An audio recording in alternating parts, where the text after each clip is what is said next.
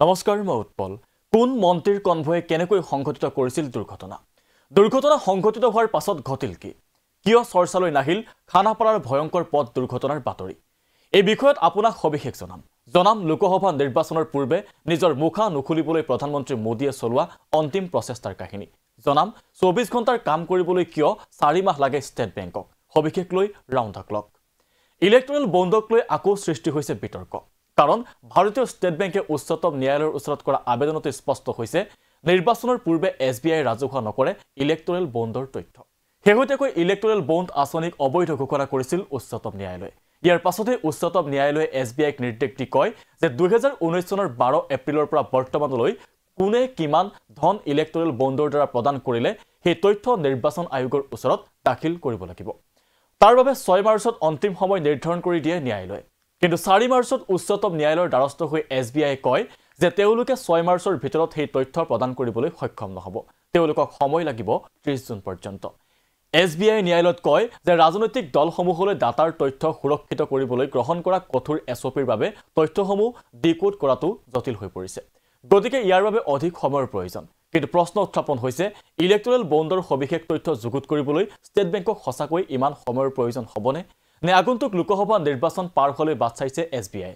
তাৰ বাবে কেন্দ্ৰৰ মোদী চৰকাৰৰ হেঁচাৰ সন্মুখীন হৈছে নেকি এছ বি আই? ইলেক্ট্ৰেল বণ্ডৰ তথ্য ৰাজহুৱা কৰিবলৈ কিয় চাৰি মাহ লাগে ষ্টেট বেংকক? প্ৰশ্ন কৰিছে বিৰোধীয়ে। বিৰোধীৰ প্ৰশ্ন চৌবিছ ঘণ্টাৰ কাম কৰিবলৈ কিয় চাৰি মাহ লাগে ষ্টেট বেংকক? ইলেক্ট্ৰেল বণ্ডৰ তথ্য প্ৰদান কৰিবলৈ অধিক সময় বিচাৰি এছ বি আই আবেদন কৰা ঘটনাক লৈ সৰব হৈ উঠিছে বিৰোধী। কংগ্ৰেছে অভিযোগ কৰিছে যে নিৰ্বাচনৰ প্ৰাকখনত ইলেক্ট্ৰেল বণ্ডৰ তথ্য ৰাজহুৱা কৰিব বিচৰা নাই বিজেপিয়ে। সেইবাবেই নিৰ্বাচন শেষ হোৱালৈ সময় বিচাৰিছে ষ্টেট বেংকে। এক টুইটত কংগ্ৰেছ সাংসদ ৰাহুল গান্ধীয়ে কয় যে প্ৰধানমন্ত্ৰী নৰেন্দ্ৰ মোদীয়ে তেখেতৰ চান্দাৰ ব্যৱসায় গোপন কৰিবলৈ সৰ্বোতোপ্ৰকাৰে চেষ্টা চলাইছে। যি সময়ত উচ্চতম ন্যায়ালয়ে ইলেক্ট্ৰেল বণ্ডৰ সবিশেষ তথ্য দেশবাসীয়ে গম পোৱাটো বিচাৰিছে সেই সময়ত ষ্টেট বেংকে কিয় নিৰ্বাচনৰ পূৰ্বে সেই তথ্য ৰাজহুৱা নকৰে? এই ঘটনাক নিৰ্বাচনৰ পূৰ্বে প্ৰধানমন্ত্ৰীয়ে নিজৰ আচল মুখখন ঢাকি ৰখাৰ অন্তিম চেষ্টা বুলি অভিহিত কৰিছে ৰাহুল গান্ধীয়ে। ৰাহুল গান্ধীৰ সমান্তৰালভাৱে কংগ্ৰেছ অধ্যক্ষ মল্লিকাৰ্জুন খাৰ্গেৰ অভিযোগ বিজেপিয়ে বিচাৰিছে যে এছ বি আই ত্ৰিছ জুনৰ পাছত ইলেক্ট্ৰেল বণ্ডৰ তথ্য ৰাজহুৱা কৰক। কাৰণ তেতিয়ালৈকে লোকসভা নিৰ্বাচন সমাপ্ত হ'ব। বিশেষজ্ঞসকলে কয় যে চৌৰাল্লিছ হাজাৰ অট'মেটিক ডাটা এণ্ট্ৰি যন্ত্ৰই সকলো তথ্য চৌবিছ ঘণ্টাৰ ভিতৰত যুগুত কৰিব পাৰে। তেনে ক্ষেত্ৰত এছ বি আই কিয় প্ৰয়োজন হ'ল চাৰি মাহৰো অধিক সময়? আহিছোঁ ৰাজ্যিক প্ৰেক্ষাপটৰ কেইটামান বাতৰিলৈ। ভূপেন বৰা অসমৰ আটাইতকৈ ডাঙৰ ক্ৰিমিনেল নেকি? দ্বিতীয়বাৰলৈ চি আই ডিৰ চমন আহিল প্ৰদেশ কংগ্ৰেছৰ সভাপতি ভূপেন বৰালৈ। চমন আহিলে দেৱব্ৰত শইকীয়ালৈ। চি আই ডিৰ চমন অনুযায়ী ছয় মাৰ্চত চি আই ডিৰ ওচৰত হাজিৰ হ'ব দেৱব্ৰত শইকীয়া। বিপৰীতে নিৰ্ধাৰিত সূচী অনুসৰি সাত মাৰ্চত পিতৃৰ স্বাৰ্থৰ বাবে চি আই ডিৰ কাৰ্যালয়ত উপস্থিত নহ'ব ভূপেন বৰা। কিন্তু সংবাদমেল সম্বোধন কৰি চি আই ডিৰ চমনক লৈ আজি কেইটামান গুৰুত্বপূৰ্ণ প্ৰশ্ন ভূপেন বৰাৰ। ভূপেন বৰাৰ প্ৰশ্ন ময়ে অসমৰ আটাইতকৈ ডাঙৰ ক্ৰিমিনেল নেকি? গুৱাহাটী কমিশ্যনাৰেট অফ পুলিচ তাত দুহেজাৰ সাতশ পঞ্চল্লিছটা গোচৰ যদি এবছৰত ৰুজু হয় তেতিয়া পুলিচৰ কাৰণে চবতছে ডাঙৰ কেছটো ভূপেন বৰা।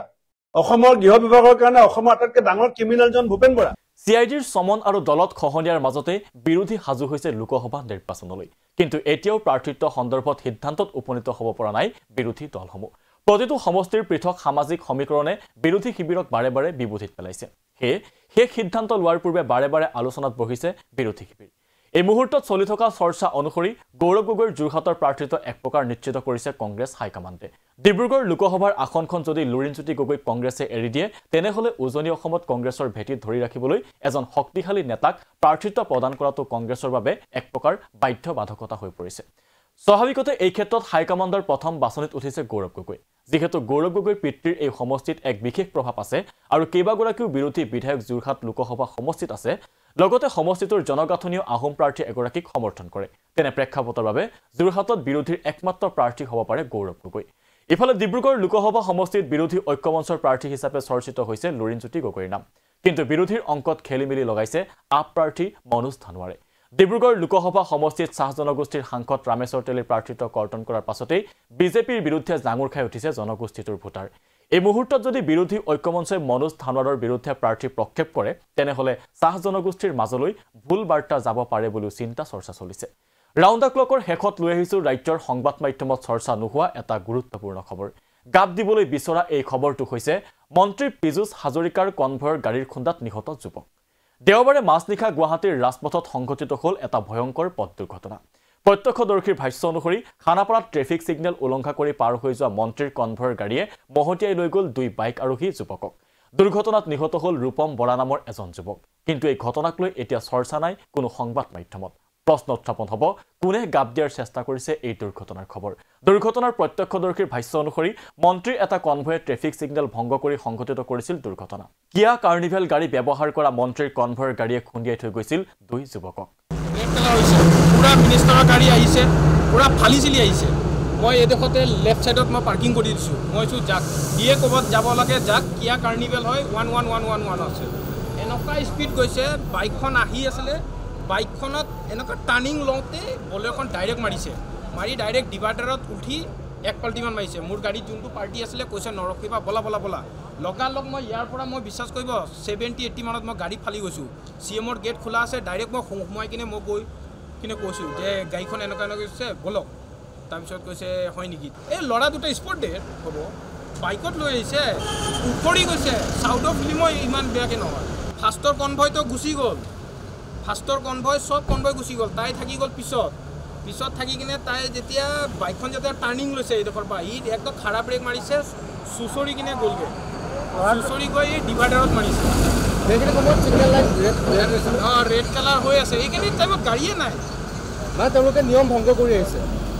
এই দুৰ্ঘটনাত নিহত হ'ল ৰূপম বৰা নামৰ এজন যুৱক। নিহত ৰূপম বৰাৰ আত্মীয়ই দি ক্ৰছ কাৰেণ্টক জনোৱা অনুসৰি মন্ত্ৰী পীযুষ হাজৰিকাৰ কনভয়ত ব্যৱহৃত এখন গাড়ীৰ দ্বাৰা সংঘটিত হৈছিল এই দুৰ্ঘটনা। আত্মীয়ক আৰক্ষীয়ে জনোৱা অনুসৰি মন্ত্ৰীৰ কনভয়ৰ শেষৰখন গাড়ীয়ে কৰ্তব্যৰ পাছত এই দুৰ্ঘটনা সংঘটিত কৰিছিল। কিন্তু আত্মীয়ই জনোৱা অনুসৰি এই দুৰ্ঘটনা সংঘটিত হোৱাৰ পাছত খবৰ লৈছে মন্ত্ৰী পীযুষ হাজৰিকাই। মন্ত্ৰীগৰাকীয়ে সহায় আগবঢ়োৱাৰ কথা দিয়া বুলিও অৱগত কৰিছে নিহত যুৱকগৰাকীৰ আত্মীয়ই। দাদাৰ কনভয়ৰ পীযুষ দাৰ কনভয়ৰ গাড়ীৰ পৰা হ'ল কেনেকে হ'ল কি হ'ল তেতিয়ালৈকে আমি একো বৰ বিশেষ গম নাপাওঁ। কিন্তু পিছত আমাক দিছপুৰ থানাৰ পৰা আৰক্ষী আহিছিলে। তেওঁলোকে ক'লে যে এখন গাড়ী আফটাৰ ডিউটি কনভয়ৰ লাষ্টৰ গাড়ীখন আছিলে। তো সেইখনৰ লগত ঘটনাটো ঘটিলে। তো সেইটোৰ পিছত আমি ক'ত আছো বা দিছপুৰ থানা আচলতে গম পোৱা নাছিলে যে ৰূপম কোনখন হস্পিটেলত এডমিট হৈ আছে। লগালগ মোৰ লগত যোগাযোগ কৰিলে দাদাই যোগাযোগ কৰিলে দাদাই যোগাযোগ কৰিলে তেওঁৰ মানুহে যোগাযোগ কৰিলে। যোগাযোগ কৰিছে? হয়। যোগাযোগ কৰিছে। ফোনত ফোনত যোগাযোগ কৰিছে। সেইটো সময়ত তেতিয়ালৈকেতো আমি মানে সেই মই দহ বাৰটা পোন্ধৰটা মানুহ যোগাৰ কৰি আছো যে আমাক ব্লাড লাগিব। এতিয়া আঠটা ইউনিট আমি ব্লাড দিবলগীয়া হৈছে আৰু দহ বাৰটা পোন্ধৰটা ইউনিট আমাক লাগিব। তো পৰিস্থিতিটো বেলেগ হৈ আছিলে।